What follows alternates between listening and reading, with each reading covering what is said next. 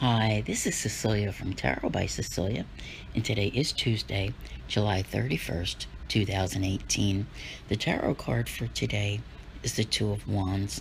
You know, I've chosen the Two of Fire from the Dreams of Gaia Tarot by Ravynne Phelan, another world-renowned tarot artist. I, I just, I think she's an incredible woman, and if you aren't following her yet, you should, because you really will enjoy her work.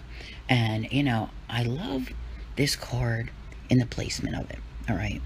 We're not all the way through all of this yet by any means, but we made it to the end of July.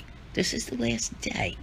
And after yesterday's card, which I labeled a shitstorm, you know, of obstacles and things coming up to, you know, challenge you along the way, today's card is like the whole thing just opens up and it offers you choices and paths to consider. So I really want to just say, like, look at you. You know, this is kind of like being at a crossroads.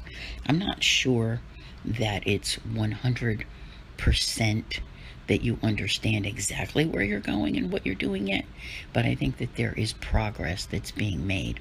And, you know, when, when you do make a choice, you have to remember that it it's not always, you know, part of it may be permanent, but as you're moving forward, if it's not the direction you feel is right for you, you can still change it, okay? You know, there there's nothing that's that set in stone. I mean, I know we make commitments in life and things, but this is this is not about making a commitment. This is about choosing a direction. And I really like the fact that this appears after getting through all of yesterday's crap, whatever that was about. I mean, we all have days like that that come up, you know. So, you know, this is an interesting card. And very often it it gives you the impression that you hold the world in your hands. You have the ability to choose anywhere on this planet, anything that you want to do. It's up to you. You know, there's a difference when the choice is finally in your hands. That makes it interesting, okay? So, and think about that for a minute. You have the Two of Swords, which is kind of back and forth and back and forth. Not by even back and forth. It's more like can't see the solution, can't see the choice, the indecision, the stalemate, you know, not being able to move forward. This card is allowing you to move forward. The Two of Pentacles is kind of like trying to keep it all balanced, you know, maybe not rock the boat and just get past the chaotic energies.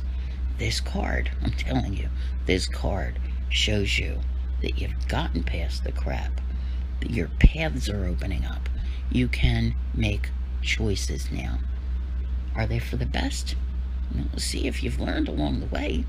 You know, maybe they are. Maybe you're finally choosing what it is that you're supposed to do. Doesn't mean that it's happening today. All right, keep that in mind. Does not mean it's happening today, but it does mean that maybe you're finally able to make progress with it. And progress in any form is always a good thing. So keep that in mind, and we'll see what's happening tomorrow when we get to August. I want to thank you all very much for listening. I'll see you here again tomorrow, and as always, have a great day.